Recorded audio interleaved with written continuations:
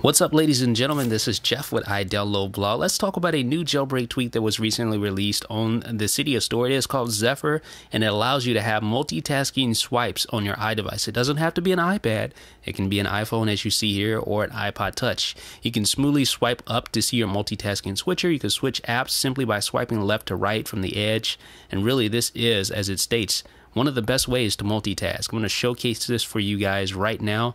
It is called Zephyr. You can find it on the Big Boss repo and it is available only for iOS 5. Okay, let's talk about our settings panel here. There is the settings panel for Zephyr in our settings app. You have two options. One is up from bottom, which allows you to enable the switcher, the app switcher when you swipe up from the bottom, or you have left or right edges, which allows you to swipe between apps just like that. So those are the only two options that you're going to find in Zephyr.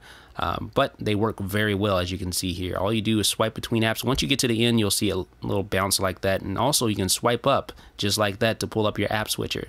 So it really is intuitive. It works very well. If you've used the iPad multitasking gestures, then you no doubt know how to use this. And the bezel on the iPhone makes it really easy to use the multitasking gestures. I'm going to open up a few apps here just to show you the left or right edges swipe capability of Zephyr here. So I'm going to open up the music app. Uh, let's open up the phone app. And let's open up our notes app and let's see what else. I think that should handle it there. Let's swipe up to see our app switcher and let's open up our notes app. Now we can swipe from left to right. You got to get that edge. Good. There you go. So you can swipe between apps just like that and it really works well as you can see. It's very smooth, very intuitive. It feels like just a built-in part of the iPhone or the iPod Touch experience. You guys are going to really like this. I really think you will.